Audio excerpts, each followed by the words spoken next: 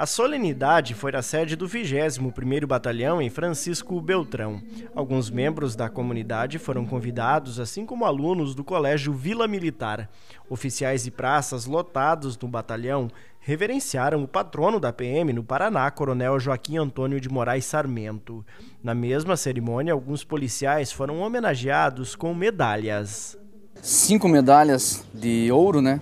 Que faz menção aos policiais que conseguem completar 30 anos sem punições, com mérito, né?